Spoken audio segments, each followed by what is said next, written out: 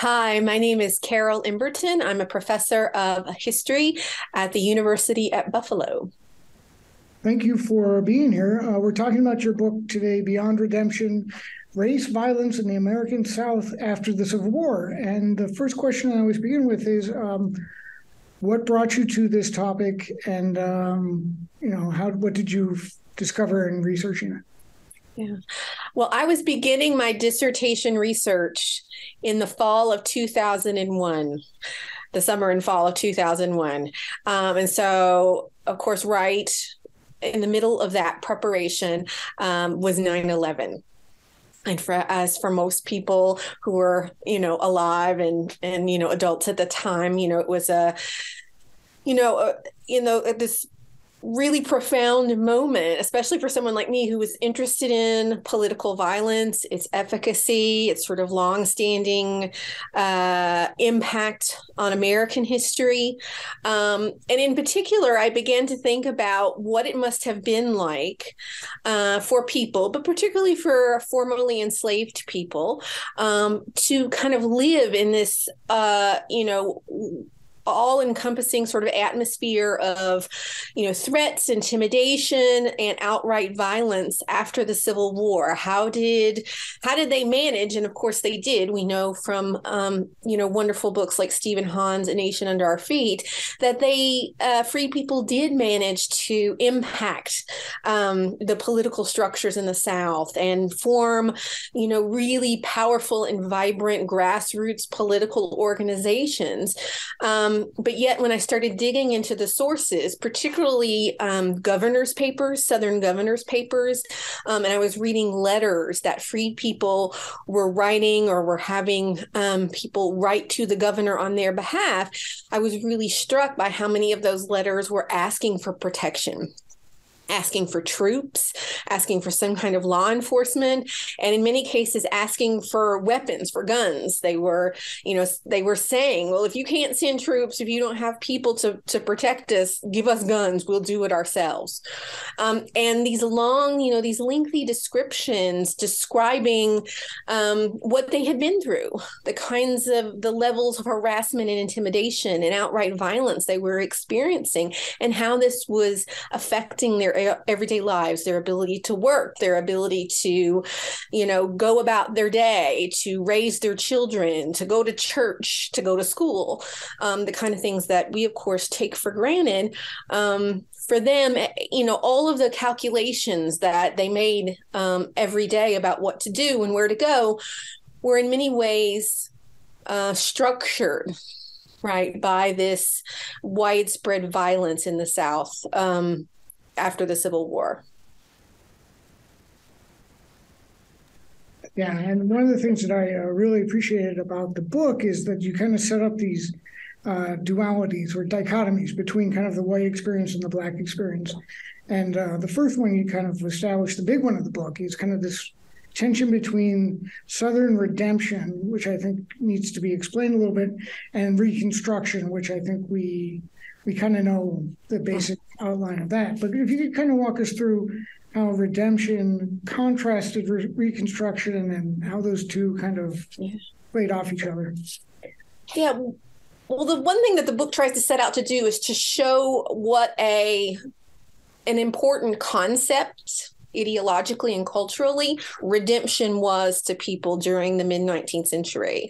And of course, for abolitionists, they were very much concerned with redeeming the slave, right? And what that would mean. And so you see the radical Republicans in Congress uh, really thinking about trying to. Um, in some ways right the wrongs of the past right um, to give in formerly enslaved people the tools and the rights that they needed in order to live fulfilling free lives. But of course, for white Southerners, redemption had you know a completely different meaning. Although they're both coming from sort of this Judeo-Christian uh, culture. Um, for white Southerners, it you know, they began to think about how to redeem the South from the loss of the Civil War uh, and uh, Black Republican rule, as they called it. Um, and they wanted to, you know, they saw themselves as the victims of uh, great injustices um, and the, the overreach of the federal government. And they wanted to try to create a movement based upon this idea of redemption and redeeming the South from those injustices. So, actually, the movement to sort of reestablish Southern, what they called home rule, democratic rule in the South, um, and to um, pacify that grassroots black political organization that had been so powerful in the early years of reconstruction um, that was known as big r redemption the movement to redeem the south and the and the men um, who were involved in that. The politicians refer consciously referred to themselves as redeemers and it becomes known as the redeemer movement in the mid to late 1870s yeah and i i noticed too that there's a that redeemer uh, notion is, you know, obviously trying to reestablish white supremacy and domination over the, the newly freed slaves. But at the same time, um, you know, there's this tension that develops between um, white violence and what you kind of talked about a minute ago with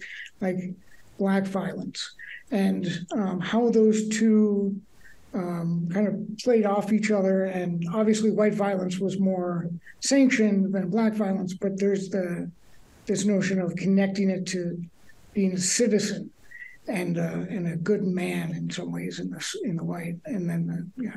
Right, right. They're both in though both of those groups are animated to a certain extent by the idea of armed self defense and by the necessity of armed self defense and the virtues of armed self defense.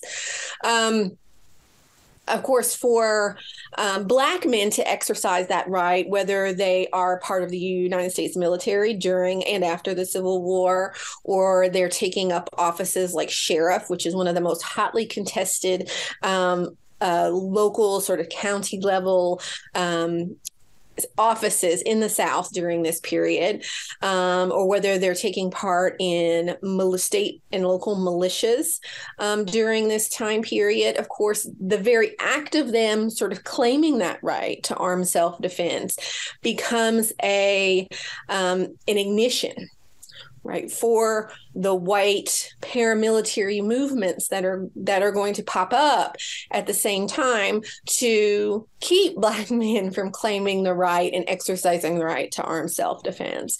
Um, so it's it's all sort of mixed up and circulating together um, and and is in some way sort of one of the cruxes of the entire period. Well, one of the things that was surprising to me, because I, I think in popular history, we kind of know the rise of the Klan, Ku Klux Klan, and some of these white councils. Um, that's I think that's what they call. It. But the um, what I was surprised by was this violence around elections. Mm. Maybe if you could talk a little bit about how that happened, and specifically the the what was it, eighteen 68 or when was that? The presidential election in 1868.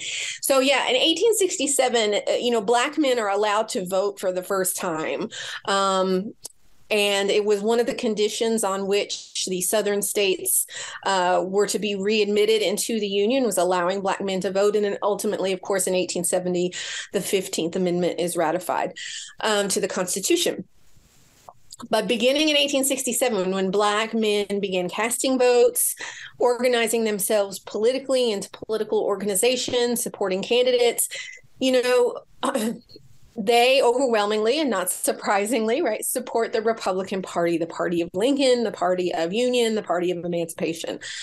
Um, for white Democrats on the other side of the line, um, some at first they try to sort of woo um, African American voters uh, to I think a limited extent, but there are some who try to form kind of coalitions or say, you know, you can't trust those Northern Republicans. We're your friends. You've lived with us you know, you know us, we'll take care of you. Um, and for the most part, black people in the south are like yeah right.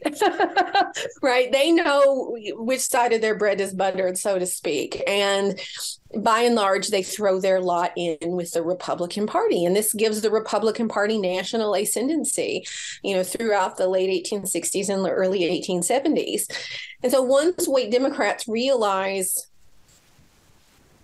that they're not going to be able to sort of co-opt um, the black vote, um, then it becomes you know, a matter of figuring out how to defraud the black vote, how to limit the black vote, how to keep black people from voting, either through outright intimidation uh, or or armed violence.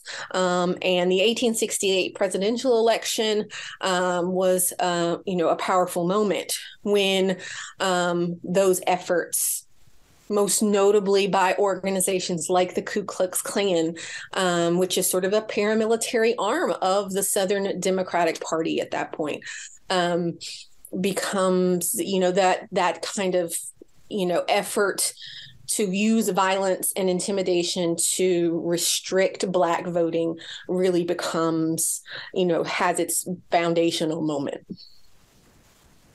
and it was not only um, black people who were targeted by this, but also people who were white people potentially voting Republican. Sure. And, it, and, and that was the thing that struck me was just, especially you know we hear today how divided we are, and when I read this, I was like, well, they're they're literally shooting each other trying to get to the ballot box, and that it was just uh, dark reminder you know it's i always have to remind my students you know we're used to voting today. We go in a voting booth you know there are sides we have a secret ballot. No one's looking over your shoulder. When you voted in the 19th century you would walk up to the polling place and there would be you know two boxes. Um, a box for the Republican candidate, a box for the Democratic candidate, and you would have, and the the poll person would ask you which ballot do you want, and you would have to say in public in front of everyone, oh, "I want that one," and then you would have to go and physically put it in that person's box. So everyone knew who you were voting for, right? You couldn't sort of, you know, count on having privacy um, at the polling place. And there were no laws prohibiting groups of people, political organizations to gather at the polling place, um, to yell at you, to bring their guns, uh, to throw things at you, to follow you to and from. So it was a really different experience, I think, than what we are used to, you know, today um, when we go to vote. Yeah, that's an important point. Um, I want to talk another uh, talk about another aspect of kind of the violence that was happening, and the white violence especially was the um, this notion of we. I, I think we understand how it keeps the African American intimidated and and down. But what did the white male um, get from this organized violence? And specifically, I'm thinking about how you mentioned in the book that the war really the Civil War and emancipation crippled white men, literally and figuratively. And I think maybe if you could talk about how the the violence kind of served to um, identify and and kind of uh, contour masculinity in the South. Mm-hmm. Yeah, I think you know for both Northerners and Southern veterans who have fought in the war, those men, um, you know, it was a defining moment in their life, and it became a, a, large part of their identity of who they were and who they had been. Right? Was was their were their wartime experiences and their battlefield experiences. Um, and particularly, I think for Southern men, it has a different sort of twist because, of course, they lost right? Um, and they're in some ways you might could say emasculated because of that experience. You know they come home they're not the victors. They are not um they can't sort of you know they find other ways to claim sort of a moral victory right? And we know about the lost cause mythologies you know surrounding sort of southern memory of the war. Um but uh, particularly i think like in the in the early you know post uh, war period, it's very difficult for Southern men to try to reclaim some of that honor, right, that they had lost in the war. Um, and so I think, you know, becoming, you know, acting out as the protectors of their homes, of their communities, of democracy as they understood it and believed it should be lived, um, that became a way to sort of rehabilitate themselves as sort of you know as men and as citizens um, during this period. So i think it takes on you know you're right it has a practical effect right? Suppressing the black vote. Very practical. Um, um, and they're very good at it and it works. It's very efficacious.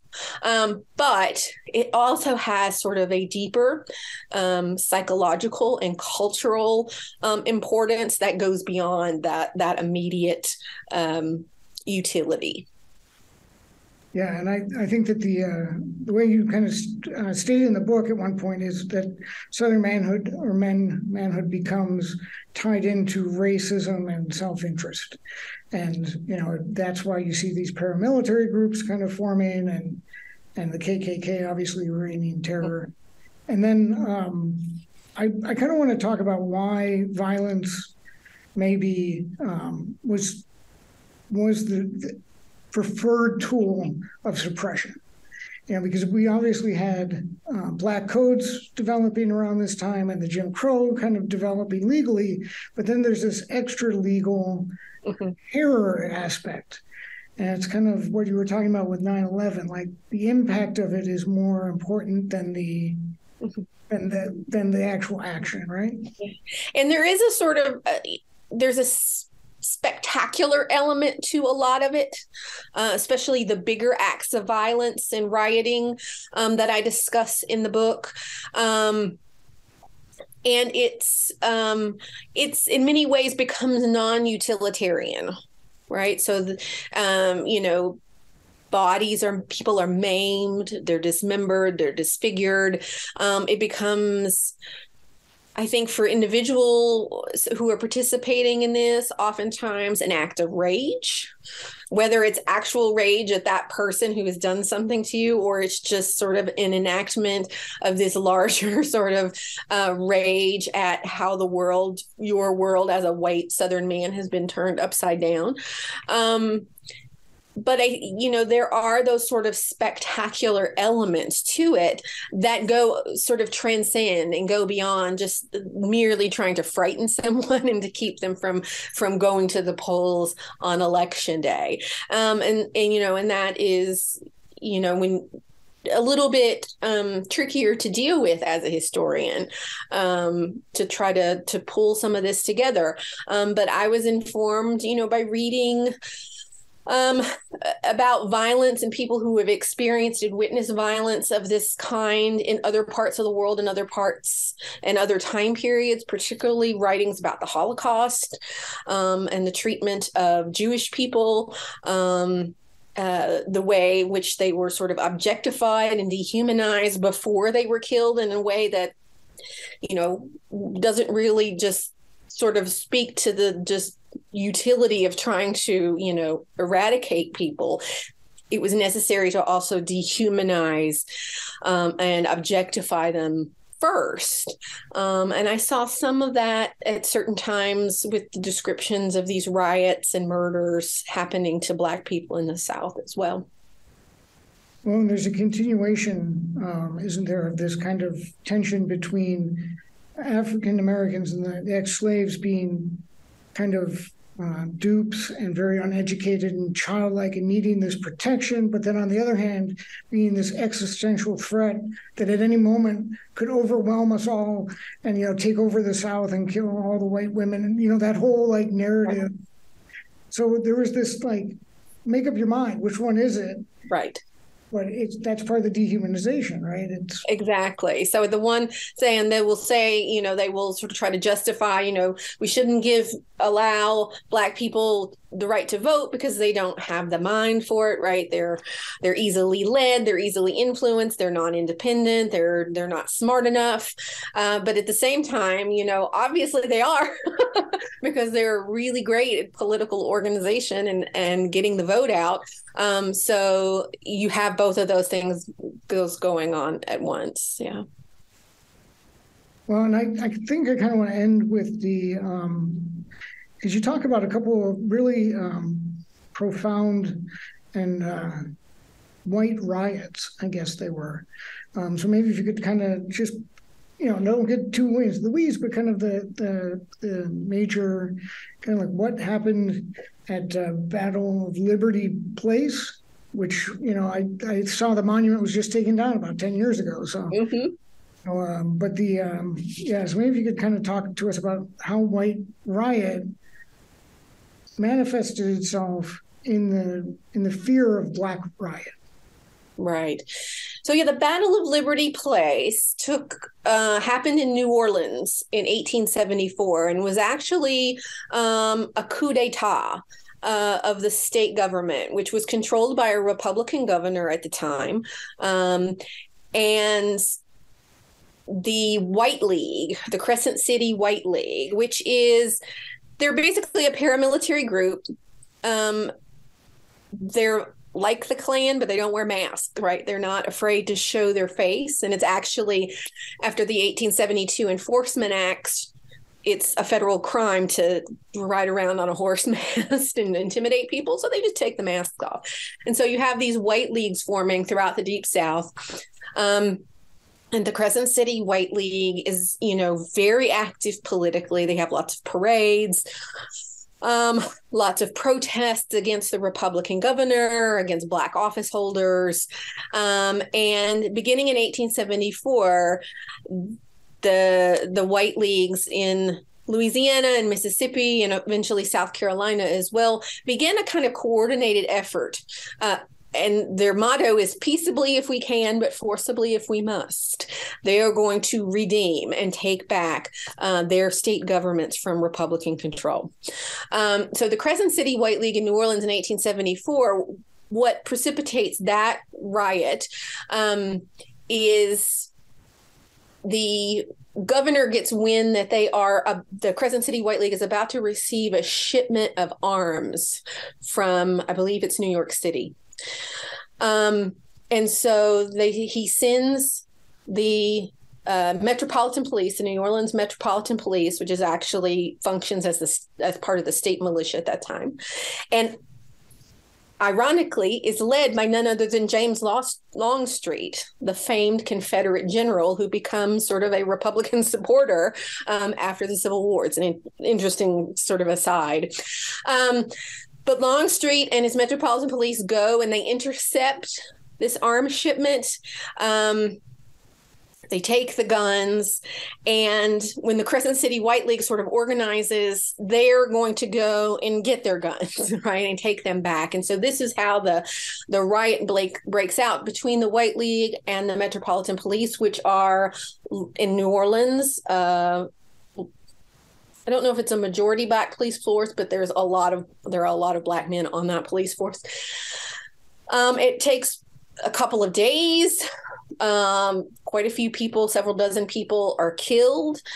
And for a moment, for a, a, day or two, basically the Louisiana state government, which at that time is seated in New Orleans, not Baton Rouge, it moves to Baton Rouge later, um, the governor leaves, he flees, and the Crescent City White League sort of assumes control of the state government for a couple of days in 1874 until President Grant sends federal troops um, to restore the Republican governor and elected officials in New state officials in New Orleans.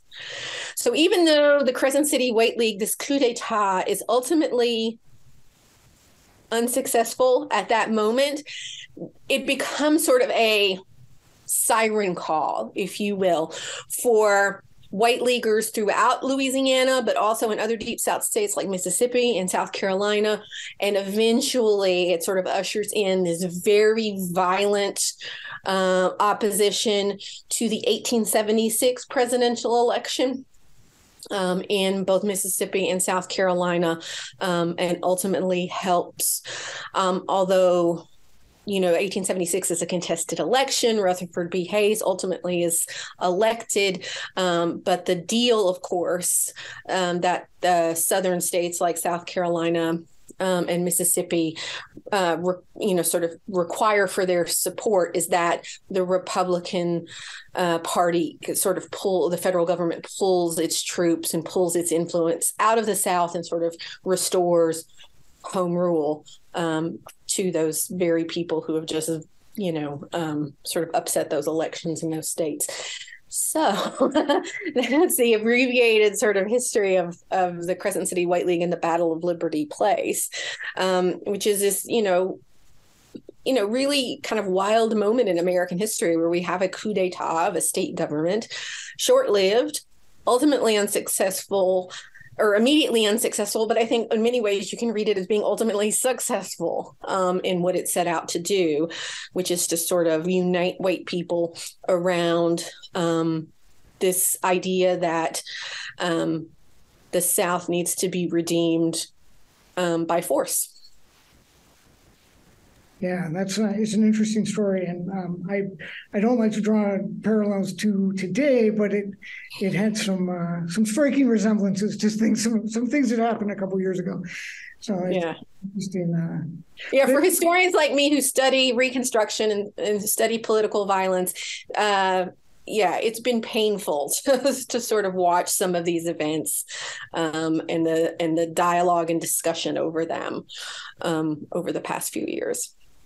Well, yeah, and I, I, was also struck by, and your book spends some time talking about the, the role guns play both in white and black communities, and, and how the the threat of armed black people was just so um, well, just the idea of armed black people was so threatening, and that it you know it brought in a whole other mm-hmm series of questions, but that's for another conversation. I think. Yeah, it, it's a it's a really important moment if you're interested in sort of this broader history of American gun culture. It's a really important moment in the formation of um, people's attachment to guns individually not just collectively but individually um, and also you know sort of an infusion of white supremacy um, and racialized fear of of black people um, becoming more and more a part of that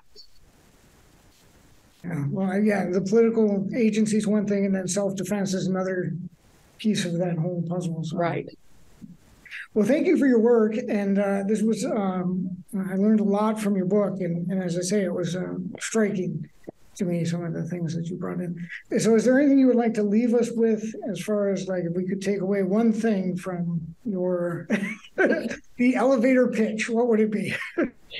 um, you know, I think, you know, for me, if you, if you want to understand, you know our political divisions our political uh, issues today um, questions about political violence about the role of guns in American culture. I think it's very important for people to go back and look at the Reconstruction period because it's a really formative moment for that um, and for these issues and for our culture um, as a society and what we're still sort of trying to work through. So I would encourage people if this is something you know that they're interested in to go back and and and look more at Reconstruction and the wonderful work that's been done um, in the past, I guess, 25 or 30 years. Well, yes, thank you for your time and thank you for thank your you book. for having me was incredibly readable, and I, you know, we have it here at the library so people can check it out and read it themselves. Fantastic, and thank you for doing your series and and helping people engage with history and these important um, issues today.